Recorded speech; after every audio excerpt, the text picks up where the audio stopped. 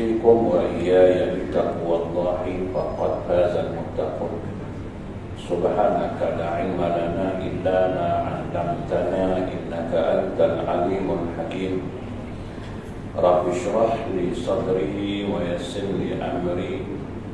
واحلل عقدة من لساني يفقه قولي. رب يسر ولا تعسر يا كريم. اللهم ذكرنا ما نسينا وعلمنا ما جهلنا اللهم ذكرنا ما نسينا وعلمنا ما جهلنا اللهم ذكرنا ما نسينا وعلمنا ما جهلنا Tuan-tuan guru, para alim ulama, para asatizah muslimin dan muslimat mudah-mudahan dirahmati Allah Subhanahu wa taala insyaallah.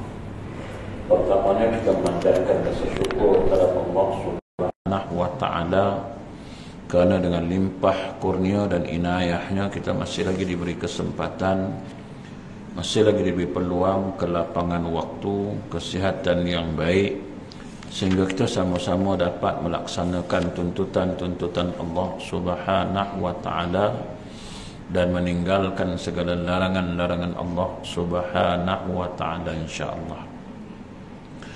InsyaAllah malam ini kita menyambung lagi perkongsian ilmu kita menggunakan kitab Al-Mawa'iz Al-Badi'ah pengajaran yang ke-40. Berkata hukama rahimallah alaihim bermula tiga perkara itu setengah daripada perangai yang kepujian. Hukama kata, orang cerdik pandai kata, bermula uh, perangai yang dipuji itu ada beberapa perkara dia kata. Pertama ialah mengasih mereka itu akan membelanja atas segala orang yang berkehendak. Ha, ini perangai yang dipuji. Ha, kasih mereka itu akan membelanja, akan berinfak, akan bersedekah atas segala orang yang berhajat, orang yang berkehendak. Kan kita tahu dia tu berkehendak tapi dia tak mampu. Sedangkan kita ada rezeki lebih. Kita pun belanja dia, kita infakkan sebab dia berhajat kepada itu maka perkara ini sangat dipuji kata hukama ya berinfak bersedekah membelanjakan sebahagian daripada harta kita itu kepada orang yang benar-benar memerlukan. Dia nak bagi anak belajar tapi tak mampu. Kan? Kita tengok dia tu tak berkemampuan tapi kita ada rezeki alhamdulillah. Kan? jadi anak dia nak belajar nak sambung belajar tapi duit tak ada. Kan maka kita belanjakan sebahagian dari duit kita itu untuk anak dia tu dapat belajar. Ha, kadang-kadang yalah maklumlah anak kadang pandai tapi kita lah tak berduit kan? Selalunya orang tak berduit ni anak pandai-pandai. Orang berduit ni anak lah tak berapa nak pandai kan? Ha tak berapa nak menjadilah mak bapak alhamdulillah banyak duit anak tak berapa nak boleh belajar. Bukan tak belajar tak berapa nak boleh. Kan? Sebab dia tahu mak bapak dia kaya kan? Mak bapak dia berduit apa nak risau? Kan? Orang susah ni kadang-kadang duk fikir mak ayah susah. Dia belajarlah pulun sungguh-sungguh kan? Sebab nak mengubah kehidupan. Tapi mak ayah lah tak mampu nak nak sekolah nak nyambungkan dia belajar kan? Ha. Jadi kita ni mampu kadang-kadang kan? Kita berkemampuan lah. Oleh kerana anak kita ni tak berapa nak boleh, anak orang tu boleh tapi dia tak mampu, tak apalah. Kita belanja sebahagian harta kita tu. Mudah-mudahan apa yang kita belanjakan itu berpanjangan sampailah ke akhirat nanti. Kan? Ya, kadang-kadang nak minta zakat bukan senang tuan-tuan. Tak semudah yang kita sangka. Minta pinjaman tak semudah yang kita sangka lah tuan-tuan. Kadang-kadang nak ada orang kenal lah nak itu banyak musyarat kan baru dapat. Kadang mak bapak mampu minta pinjaman lagi kan dapat lagi. Yang tak mampu kadang-kadang minta pinjaman tak dapat pula dah. Kita ni pelik tuan-tuan kan bagi pinjaman dekat orang yang dah dah mampu. Orang bagi pinjam pada yang tak mampu kan macam orang niaga lah minta pinjaman kan nak buat perniagaan dia suruh meniaga lu. Nak modal lah dulu. Nak meniaga kan? Ha, ni dah meniaga dulu. Dah jalan besok baru boleh minta. Kok dah jalan dah maju nak minta buat apa kejadah lagi dah. Oh, orang masa dia tak ada itulah kita bagi dia. Ni modal aku pantau. Sampai kau boleh berjaya meniaga ni baru kelepaskan kau. Ha, ni dah niaga dulu. Tuan, saya nak buat modal. Yang dalam niaga dah dulu. Modal tak ada nak niaga apa. Kadang saya pun serabut tengok tuan kan. Betul saya kata macam pusat zakat lah kan. Kita nak belajar, lepas tu kita minta zakat. Dia tapi belajar dulu. Gila ke apa? Kadang tu pening tak kita kan? sebab ini pengalaman saya lah. Kan? Bila nak belajar tak ada duit. Kita nampak oh ada zakat. Kita mohon zakat lah. Mudah-mudahan dapat duit tambang, dapat duit ya, beli kitab kan. Kita mohon lah. Bila mohon, dia kata, okey, kamu pergi belajar dulu. Tak, ni nak mohon duit tambang lah ni nak pergi belajar. Ha, pergi dulu. Universiti tu belakang bukan belakang dapur rumah aku. Dia kalau belakang dapur, okey, buka je pintu universiti. Tak payah minta pinjam kat kau, biar aku pergi situ ya. Apa punya majal lah. Ha, tengok, ha, baru ni ha, Pusat Zakat Kedah membuat satu dasar perubahan di mana setiap orang yang dapat tawaran belajar ke Universiti Azhar dia bagi dulu 4,200 tambah semua piluh belajar ni duit ha. Nanti dah dapat result, kalau kau dapat jahit jidan, sebab dia kata dapat imtiaz 10 ribu dia bagi. Jahit jidan 7 ribu. Ha, dia buat sistem tu. Budak jadi semangat lah kan. Dia kena belajar lah. Kalau kau pergi Mesir, tiba-tiba kau dapat jahit jidan, dapat 7 ribu. Dia dah bagi 4 ribu setengah, ada 3 ribu, 2 ribu setengah lagi, dia akan tambah lagi. Ha, maknanya dah orang dah dapat pergi dulu. Lepas tu pandai-pandai lah cari duit. Ni dah kau pergi dulu. Belajar dulu setahun, dah dapat result besok, hantar kat kita orang, kita orang proseskan. Ha, habis nak pergi apa? Dengan kaki. Kan? Lainlah kalau tiket kapal terbang boleh hutang dulu. Nak pergi Mesir boleh tak hutang tiket kapal terbang. Apa? Cuba, cuba ubah dasar. Cuba ubah sikit dasar tu zakat permudah. Ha, jangan zakat mempersulit. Tu saya kata kat orang bukan semudah itu saya kata. Kadang-kadang kita suruh orang datang pejabat. Dia dah tak berduit. Nak datang pusat zakat nak perlu duit tambang. Minum makan lagi. Duit dia tu lah RM20.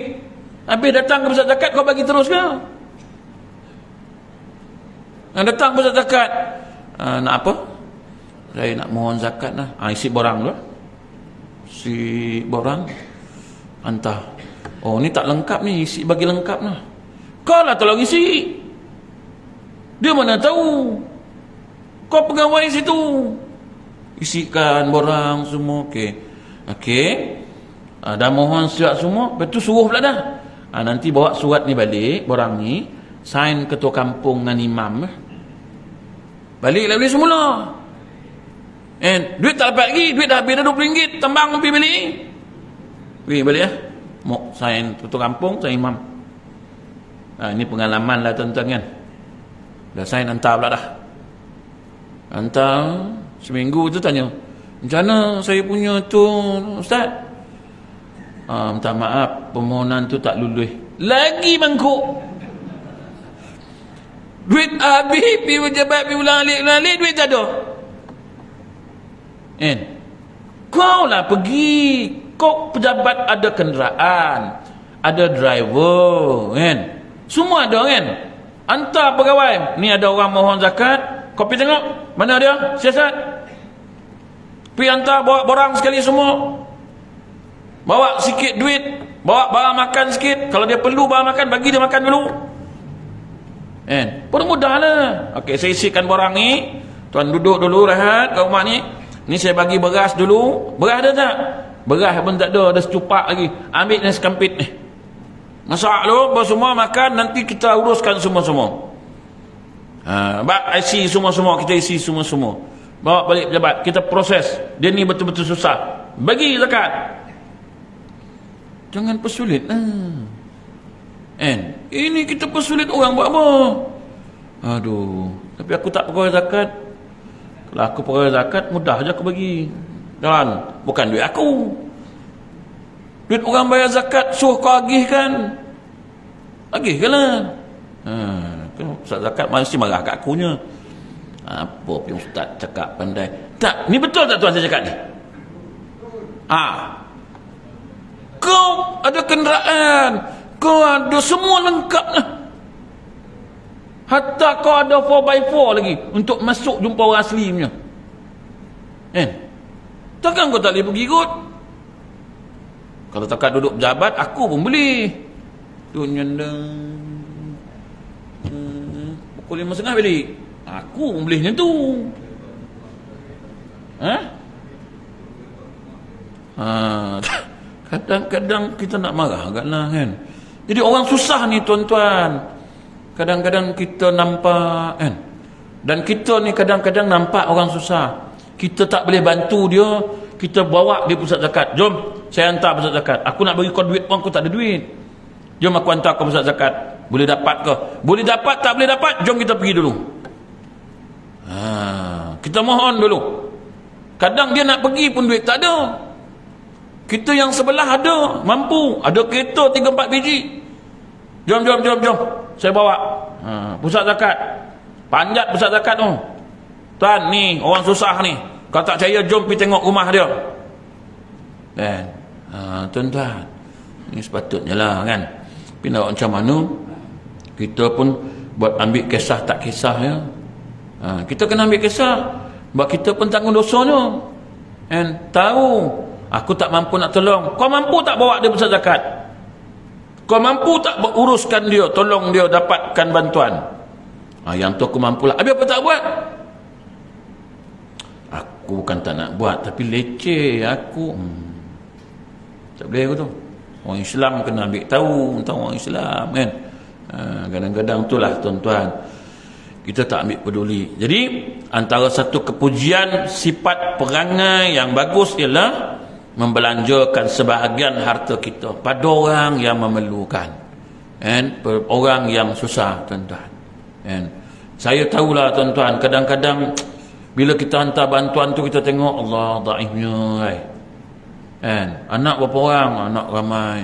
Suami kerja apa? Suami tak kerja sebab sakit. Mana suat doktor? Tunjuk suat doktor sakit. Habis bantuan apa dapat? Tak ada. Habis macam mana nak makan? Dan Ha, saya lah buat kerja sikit-sikit. Ha, kadang-kadang sedih tuan tengok kan? Zaman sekarang ni bukan zaman orang yang senang. Jadi tuan-tuan kalau kita ada rezeki kita belanjakan sebahagian harta kita. Pasal tu orang masjid orang surau patutnya. Jangan simpan duit masjid tu kan? Kita pergi jalan tengok dalam tempat-tempat kita karyah kita ni. Kalau dah tak ada bantuan masjid bantu kan? Bantu dia sampai dia senang Orang masjid uruskan dia. Kan? Ha, kita jangan kisahkan masjidnya, kita kena tengok jemaah kita semua. Alah, tapi dia ni bukan kaki pergi masjid, Ustaz. Jangan duk fikir dia tak pergi masjid ke, dia pergi masjid ke.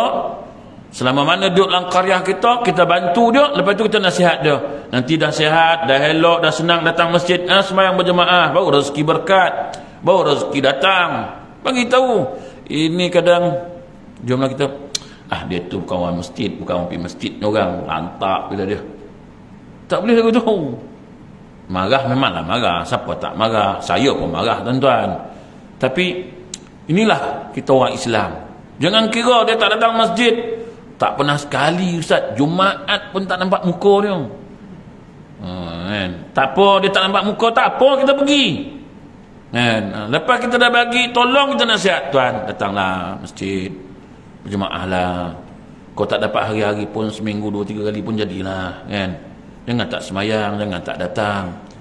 Kalau kita semayang datang kita ketahui kita tahu kita boleh bantu kan? Ha, tak boleh kata ah dia ni jenis tak campur orang. Kadang dia nak campur tapi dia rasa diri rendah diri. Dia tak ada apa aku nak campur pun malu kan? Aku nak pergi masjid aku pun tak pandai. Dia ingat orang semua pergi masjid ni semua dah pandai kot kan dia ni orang semua dah pergi masjid ni semua pandai aku, aku nak pergi aku tak pandai. Rupa lagi teruk pada dia. Jadi tuan-tuan kan kadang bukan dia tak nak pergi masjid bukan tak nak datang. Kadang dia berasa aku nak campur orang masjid orang masjid semua pandai-pandai. Aku apa yang tahu? Malu lah aku nak pergi masjid kan? Ah, tuan. Jadi tuan-tuan kadang-kadang malu tu rasa macam tak tahu dia ingat orang masjid ni semua dah pandai semua. Memang pun orang masjid semua kira macam dah pandai lah. Macam dah pandai. Pandai belum kan. Pasal tu tuan-tuan saya kata orang masjid ni. Tak maaf cakap lah kan. Dalam seminggu lah kan. Seminggu. Berapa kali kita tahsin suratul fatihah aja. Betul fatihah kita dalam seminggu berapa kali.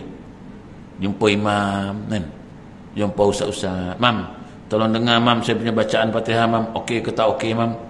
Mayang hari-hari Fatihah tak tahu betul tak betul ni mam. Tolong dengar mam. Ada seminggu berapa kali? Mana nak ada? ha? Sebab rasa macam dah boleh. Rasa macam boleh lah. Aku dengan imam tu aku lagi fasih. Sebab tuan-tuan. Sebab saya bila pergi Mekah lepas semayang kadang-kadang kan. Adalah syekh-syekh duduk kat tiang tu kan. Duduk kat tiang-tiang masjid tu kan. Jadi orang Arab orang Pakistan Bangladesh kan. Turki duduk ngadap dia. Pendengarkan bacaan dia betul tak betul kan. Ha. jadi saya tak pernah tengok orang Melayu pergi tau. Saya tak pernah nampak orang Melayu. Tak ada pula orang Melayu datang kan. Mana orang Melayu kira hebat lagi pada orang Arab tu kata Abang Nabi betul kan? Gitu kan?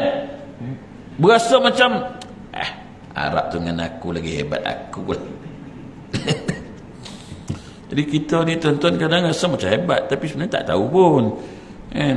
Saya tu tapi itulah susahnya kalau kita tahsin surah Fatihah bila kita dah yakin kita dah boleh baca bila imam kata ah, betul bacaan tu. Kita pun yakin bila yakin nanti kalau imam tak datang orang suruh jadi imam. Ha naik jadi imam. Tak ada hal. Ini nak suruh jadi imam pun esok. Bila imam tak datang,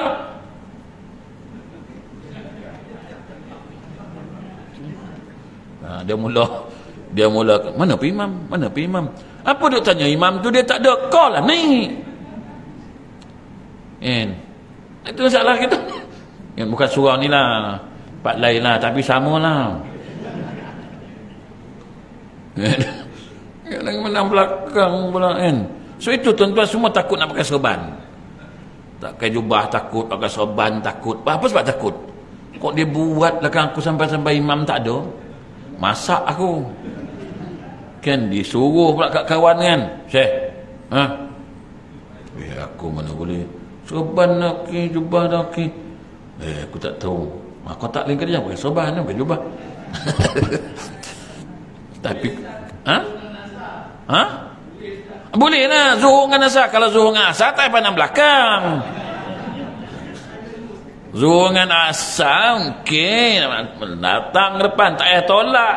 Laju je pergi kan. Ha, tang baca doa kan bergagap sikit. eh? ha, tak kau dah tuan-tuan ni ha, tapi tuan-tuan boleh lah kan? tapi kadang-kadang orang rumah pun tak yakin dengan kita kita ajak berjemaah tak nak dia. Ha, kita jemaah kat rumah je lah kan abang? Rumah? Siapa jadi imam. Abang lah. Abang boleh ke fatihah? Ada ke bini nanya lagu tu? Kan? Ha, ibu-ibu pun tak yakin tak? Betul tak? Ha, tengok ibu-ibu angguk. Bahaya tu. Ni kan? Ha, lepas ni buat tahsin surah fatihah. Mana pengusi surah kita. Kita buat lepas semayang ada sejam dua jam ada ustaz ke imam tunggu. Ha, siapa nak tahsin surah fatihah tu imam tunggu pi. Nak baca ramai-ramai malu kan? Masuk bilik tu seorang-seorang. Imam dengar baca. Kan? Kita belajar tajwid belajar tajwid lah. Tapi bila imam dengar tu imam kata ah ni betul. Kita rasa confident lah sikit kan? Bila imam memang betulkan kita. Ini tak ada. Macam pandai bila so jadi imam mengelupu tambah-tambah semain subuh bagi Jumaat. Alif lamin tanzil lagi. Lagilah gagap. Ya? yang kedua sifat yang terpuji. Mengasihi mereka itu akan memaafkan daripada segala kesalahan segala orang Islam. Oh sifat memaafkan. Tapi cakap senang dan tapi nak mempraktikkan tu susah oh. nak memaafkan orang ni oh, nak minta maaf satu bab lah kan? Nak memaafkan orang tu susah kan senang dan cakap memang senang kan? Tak apalah aku maafkanlah tak ada masalah lah kan? Aku tak nak besok akhirat dia tuntut-tuntut ke aku. Besok ada perbicaraan depan Tuhan aku tak nak lah. Susahkan aku je aku maafkan lah kan? Uh, kalau boleh ini tuan-tuan ya Alhamdulillah. Kan? Tapi nak maafkan tu geram ya kan? Aku bukan tak nak maafkan dia tapi kalau aku ingat-ingat balik dah ingat balik kau ingat balik buat apa? Yalah ingat-ingat balik masa dia buat aku tu tu aku geram tu. Aku okey aku boleh maafkan dia. Tapi ada tapi lagi. Dah maaf sudahlah. Eh? Kan maafkanlah kan? Macam orang hutang kat kita lah. Bukan banyak lah hutang tu RM10 RM20 kan? Ha, tak bayar-bayar. Ah, halal lah ha. ada rezeki kau bayar-bayar. Kau tak ada buat halal kan dah sebab besok ke akhirat besok susah patut dah masuk syurga jadi lambat pasal RM10 ni pasal ha, baik kita halal dia RM10 kalau RM10,000 nanti dulu Tapi kalau 10 ribu pun boleh, kehebat lah kan. Cuma cakap lah matilah. Aku kalau dia tak bayar pun, aku halal lah kan. Yelah, nak nunggu dia bayar, tak bila kalanya kan. kan. Tak tahu bila, dia pun tak ada orang tengok kan. Bukan makin senang dia dapat 10 ribu dulu. Makin susah aku tengok. Nak pinjam macam mana kan. Ha, jadi, kita maafkan lah kan. Kita maafkan dia. Macam laki bini lah kan maafkan suami ha, lantaklah saya maaf je lah tapi jangan cakap dengan suami saya maafkan nanti dia tak bagi duit tu okay, alala kan suami kan ha, suami buat salah maafkan suami kan suami menyakitkan hati kita kita maafkan suami kita boleh ibu-ibu ha, makna tahu suami kita kahwin lagi seorang. Maafkan je boleh? Wah boleh. Untunglah. Ha, kan? Tak apa ustaz saya maafkanlah. Dia pun dah nikah. Yang penting dia halal. Yang penting dia adil. Sudah lantak bila ustaz. Ha, selesai masalah. Boleh macam itulah. Ha, macam tu lah ha, tapi, orang laki-laki pun tak payahlah. Nak, nak kahwin lagi seorang tak payahlah. Buat semak semua tu kan elok-elok dah tidur terlentang elok-elok sekarang dah tua-tua letak lelap letak lelap. Besok kau tak lelap-lelap ha, baik tak payah. Asal nikah dua pedulikanlah seorang tu. Cukup lah tu kan? Tu saya kata orang perempuan ni kalau kita menikah dua dia sensitif sikit kan? Ha, tu susahnya kita ni nak nikah dua. Tak bagi tahu pun salah. Bagi tahu memang tak dapat. Tak bagi tahu pula pun salah kan? Ha. Kita boleh jom nikah tak ada masalah tak bagi tahu ha, tapi bila dah tahu besok dah dia bising Eh. Tapi kalau tuan-tuan dia bising, tuan-tuan tak kisah, okey. Bini bising, lantak lah, bising lah kau. Aku pun nak nikah muka hati kau lah. Ha? Kau bising pun aku boleh lelap. Okey lah. Eh. Dia petua dia macam tu je kalau nak kahwin dua ni. Kalau boleh tahan telinga tu, nikah dua. tapi sebelum tu ambil anak itik 3-4 ekor buat tidur dulu beli anak itik 2-3 ekor bolang kotak letak tepi katil. 40 hari lama. Cik cik cik cik cik boleh tahan tak? Boleh lelap tak? Kalau boleh lelap boleh lah. Ha, tapi kau tak boleh lelap jangan tuan-tuan. Kau rasa nak dipicit anak itik tu? Ha, jangan jangan jangan. Jangan tuan-tuan. Buat pasal. Sebab orang perempuan dia tak boleh. Kau dah buat salah lepas tu kau menjawab. Ni satu penyakit. Orang kalau dah buat salah jangan menjawab. Diam dia dia memang dia attack ke kita tau. Dia tunggu je balik-balik rumah dia kan lapar lah tak makan ai sana tak masak lah ha, memang kau dapat dia memang ditunggunya bola tu. Dia, memang ditunggunya. Dia macam umpama dia pegang pedang lah dia nunggu nak libah ya kau jangan cakap ya cakap ya zap mesti kau kena. Ha, ni orang perempuan. Sebab itu tak payahlah nikah dua kan buat apa nikah dua. Boleh lah seorang pun cukup lah kalau dah meninggal tu cerita lain. Dah meninggal merah ke hitam ke kubur nak nikah nikah. Orang nak kata dia punya pasal kubur merah lagi dah nikah lain. Apa punya laki lah. Nak nunggu hitam awak pun dah tu nak melawak awak pun badam. Langsung tak payah ha, jangan tunggu. Dia meninggal tanam pagi ni petang dah cari. Petang cari besok lusa jalan. Oh ilahi bini pun meninggal tiga hari dan nikah lain. Tak sayang bini langsung. Sayang bukan berarti tak nikah. Sayang tetap sayang? Nikah je lah. Orang lelaki mana boleh tahan lama duduk seorang-seorang? Dia nak masak sendiri nak kemas sendiri ganti kan ini semua muka bini buat semua. Ha? Aha, tengok. Bengong tu seorang. Bukan bengong apa. Biasa kita duduk je, nasi sampai. Wah, lain macam semangat. tu kan? Ha, maknanya orang laki-laki tak boleh. Sebab itu orang laki-laki ni kalau bini meninggal tu nikahlah. Jangan tangguh-tangguh lagi. -tangguh. Walaupun dah berjanji dengan bini sebelum tu bang kalau saya meninggal saya tak ada ni abang nak nikah lain tak. Angguk je. Ya tak. Ha, habis cerita. Dia pun padam kita pun nikah lain. Habis dah janji. Hah itu janji tak boleh pakai. And, and, ya, sebab nak menenangkan dia kembali. Jangan jangan fikir-fikir nikah. Ha. Sebab orang laki-laki dia mencari, orang perempuan dia dicari, lambatlah sikit. Apa nak fikir kan? kan? Kalau orang perempuan, suami meninggal, dia nak tunggu habis dah lu 4 bulan lebih. Lepas tu tunggu orang masuk, kok ada orang masuk Minang? Kok tak ada? Tengoklah yang tinggal tu umur berapa? 40. Okey lah. Kok 75? Ha? Bas. Sembang memang lah. Kan?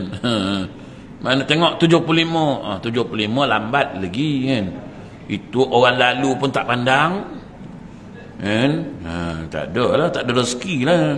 Tapi kalau lelaki 75 okey lagi. 75 menggigil pun okey lagi. Kan? Cenia tangan pun kok duit banyak lah kan? Ha? ah boleh lagi laku. Ramai yang tak Okey, memaafkan daripada segala kesalahan daripada orang Islam kita ni. Ha, maafkanlah kalau kita ni yalah, kita tak lepas daripada salah dan silap kan. Kita mana ada perfectnya tuan-tuan. Kadang kita pun ada salah kan. Itulah sifat manusia punya kelemahan, kesalahan. Jadi kita saling maaf memaafkanlah. Kan? Ha, nak bawa marah pun sampai bila? Nak sampai berdengki berdendam sampai bila kan kan? Kita nak kembali kepada Allah. Kan? Besok dah susah depan Allah. Kan? Ha. yang ketiga merendahkan diri dengan meninggalkan kesakitan daripada segala makhluk sekalian. Ha. kita ni tuan-tuan janganlah menyakiti orang lain. Sama ada perbuatan kita kadang-kadang percakapan kita kita kena jagalah. Kan percakapan kita, perbuatan kita ni kadang-kadang boleh menyakit hati orang lain. tapi kalau cakap yang betul dia nak sakit hati tu tak boleh buat apa lah kita cakap benda betul kita cakap benda hukum dah memang tak boleh. Dia nak marah juga tu kita nak buat macam mana? Kita bukan nyakitkan hati dia. Memang hukum dia macam tu. Kan? Dah memang hukum dia macam tu tak boleh tak boleh lah ha, kita tak boleh nak marah dia kalau kita marah dia bukan kita marah dia kita marah Allah Ta'ala hukum tu dari Allah Ta'ala. Kan? Ha, jadi tuan-tuan kita janganlah sampai menyakiti mengkhianati kan? Apatah lagi menjatuhkan keaiban dia membuka keaiban dia tu tak boleh lah dalam Islam dilarang kita menyakiti ha? menyakiti ataupun ya, menjatuhkan maruah dan sebagainya Islam larang memfitnah dan sebagainya Islam larang kan? Ha, sekarang ni zaman ialah zaman media sosial ni tuan-tuan hanya di ujung jari. Kita ni terlalu cepat nak forward. Kadang-kadang ceramah-ceramah ustaz ni kita bukan dengar habis pun sekerat ya. Lepas tu tu kita forwardkan. Nanti masalah timbul fitnah kan? Bagi dengar apa habis jangan sekerat-sekerat. Kan? Bila sekerat-sekerat timbul fitnah nanti tuan-tuan kan mana orang tak faham nanti timbul fitnah. Sebab ini pun berlaku di zaman Sayyidina Umar Al-Khattab radhiyallahu an. Kan? Berlaku pada zaman-zaman yang sebelum ini. Kadang yalah zaman Sayyidina Umar zaman Nabi SAW kan? Bila mana seorang Arabi dengar siapa yang mati ucap kalimah la ilaha illallah dakhala jannah masuk syurga. Datang orang Arab ni pergilah jajah siapa mati akhir kalamnya ucap la ilaha illallah masuk syurga. Sampai ke Sayyidina Umar di lempangnya kan? Ha. ngadu kat Nabi SAW kan? Ha, bila ngadu ni lah punca dia tuan-tuan. Tu sebab bila kita nak menyampaikan sesuatu biarlah sahih. Kan? sekarang ni cerita mati pun nak kena sahih tuan-tuan. Kadang-kadang kita kata uh, Ustaz ni ada seorang meninggal lah nak minta gali kubur. Kita pun bagi tahu. Okay, orang kubur tolong gali kubur ada seorang meninggal ni. Tahu-tahu dia belum meninggal baru nazak kan? Dah meninggal ke? belum Ustaz. Dengan nazak. Kau ni apa? Suruh kali kubur kawan tengah nazak. Ah, tapi macam nak mati dah Ustaz. Astaga tuan-tuan kan? Sahihkan dulu. Betul dia meninggal? Betul. Pukul apa dia meninggal? Kat mana dia meninggal? Siapa yang tengok dia meninggal? Aku nak tanya dulu ni. Kan? Ha. elok kubur siap kawan hidup abu betul kan? Ustaz kata ada orang meninggal. Dah hidup beli. Ustaz jangan main-main Ustaz. Penat kali kubur ni. Tak kita bukan main-main. Kita pun dengar orang bagi tahu. Dia kata Ustaz nak kubur satu. Ha, kita telefon orang kubur. Ada kubur tak satu boleh kali boleh Ustaz. Ha, Ustaz yang telefon. Boleh lah tahu-tahu belum meninggal. Ha, meninggal pun. Ingat tak Allah Alham ha, Datuk Ismail Kamus dulu kan Berapa kali tuan orang kata dia dah meninggal tu. Padahal kawan tu pergi Mekah. Dah meninggal lah dia. Allahu Akbar. Biarlah sahih. Berita yang sahih. Jangan sampaikan berita yang tak sahih. Jadi fitnah. Kan? Ha. Akhir zaman ni lagi dahsyat fitnah. Kan? Benda-benda yang tak ada dia ada-adakan dan sebagainya. Takutlah kita. Kata hukamat bahawa orang yang berakal itu tak kala marahnya itu insaf tak kala kasih akan seseorang. Maka syafaatlah ia akan dia tiadalah ia menyesal pada barang yang perbuat lagi tiada ia menempelak akan seorang yang berbuat jahat. Ya, orang berakal ni marah itu insaf tak kala kasih akan seseorang. Maknanya rasa insaf rasa menyesal kan dia maafkan orang kasih dia pada orang tu. Kan? Ha, dia tak buat lagi perkara yang tak baik. Ha, baik. Dan lagi kata hukamat tiada sempurna ilmu itu melainkan dengan sempurna akal jua ha. ialah nak ada ilmu nak dapat ilmu kena ada akal. Ha. azan tuan. Bilal kita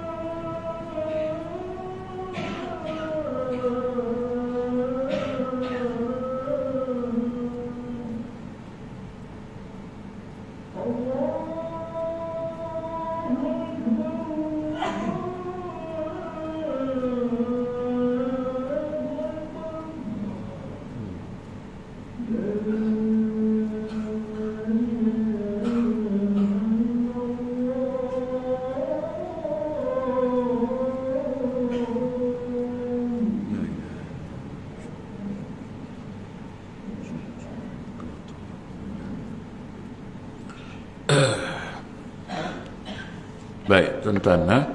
Kita sambung sikit. Malam ni habis lambat sikit lah. Bawa lapan setengah. Kita habis dalam ke-10 insyaAllah.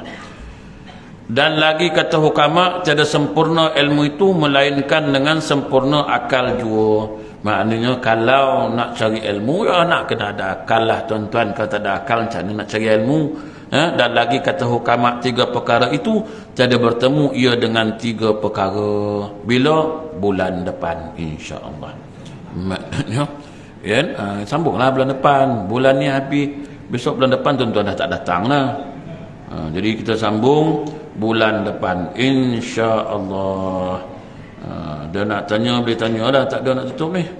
Tak ada lah tak ada. Kita tutup tuan-tuan. Jadi sebelum tutup depan saya ni ada minyak wangi. Siapa nak minyak wangi? Ini pure punya minyak wangi. Ha, siapa nak minyak wangi raudah ni minyak wangi raudah yang ini kasturi kidang. Pure punya lah kan? Sebotol 10 ringgit. Dua botol ni 15 ringgit. Siapa nak lah. Ha, sebab stok raudah ni nak habis lah. Sebab besok uh, 15 ni saya nak pergi Mekah balik semula. Ha, uh, ni pun baru bawa balik hari tu. Ni nak pergi balik 15 hari bulan. insya-Allah. Dan sekarang nak pergi umrah pun susah tuan-tuan. Sekarang dah pakai biometrik pula dah. Nak cop jari sekarang ni. Sekarang siapa nak pergi umrah dia nak buat cop jari pula. Visa umrah dia nak cop jari. Tak tahulah nak cop jari 10 ke 4 ke 1 ke tak tahu. Ha, macam-macam peraturan sekarang tuan dengan main eh, ha, bulan 10 package bulan 10 tuan-tuan pun harga pun dah mahal. Bulan 10 saya tengok package pun dah sampai dekat 10 ribu tuan-tuan. Eh, 10 ribu punya package uh, haji. Ha, saya baru ni ada satu syarikat entahlah kat saya bulan 10 uh, 8,990 kalau kita tengok bulan 11, bulan 12 sampai dekat 9,000 lebih tuan-tuan. Ha, 9,000 lebih, 10,000 kan. Ha, jadi tuan-tuan sekarang punya masa nak pergi umrah pun susah. Kan? Nak pergi umrah pun macam-macam syarat nak itu, nak ini kan.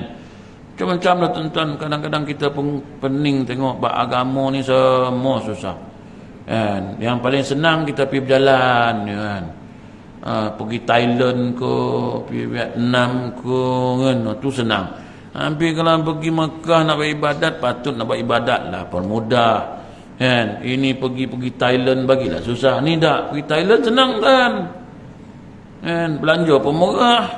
500 per pack baru ni siapa nak pergi Thailand 50 per pack tapi 10 orang 500 per pack tu, tu seorang tak 10 orang satu van 5000 je Ha, saya kata, wish, syok ni. And ada ni, hantar satu satu pamphlet dekat saya ni. Ni. Oh, berapa hari ni duduk sini, duduk, duduk, duduk Thailand ni. Ini boleh masas lah. Orang tua-tua nak masas apa? Ni ini yang dihantar kat saya lah kan. Ha, ha, tengok tuan ni. Tengok baru-baru ni orang hantar kat saya ni. Mesej. Lima ribu. Ha, sebuah van sepuluh orang. 500 per pack berapa hari 4 hari tuan macam-macam duk tengok shopping di Danok benda tu hmm. saya tengok sini ada tak masas kat Danok tak ada ha, masas kat Thailand tak ada rupanya ha, pergi lawatan je lah lawatan macam-macam lawatan lah 500 tuan ha, siapa nak pergi boleh lah bagi tahu saya saya boleh jadi agent ni tengok siapa ni Ah, tuan boleh kontak saya. Saya boleh bagi tahu dia ke Thailand. Dia nak pergi umrah mahal 10,000. Pergi Thailand. Pergi Thailand 500 per pack, 10 orang satu van. Ha, ambil kat mana tak tahu lah. Ambil kat Lembah Kelang kot. Ha, tuan-tuan, siapa nak pergi, siapa nak pergi. Saya nak pergi Thailand ni. Kan? Ha, jadi tuan-tuan cukup setakat tu siapa nak minyak wangi insya-Allah sekarang dalam motor saya ada minyak wangi. Banyak minyak wangi tu. Siapa nak dua botol ni RM15 sebotol RM10 wallahu alam. Auzubillahi minasyaitonir rajim. Khasyan zakir syaitan. Auzubillahi wa akrimna bittaqwa janna bil afiyah. Rabbana sallallahu alaihi wasallam alhamdulillahi rabbil alamin. Assalamualaikum warahmatullahi wabarakatuh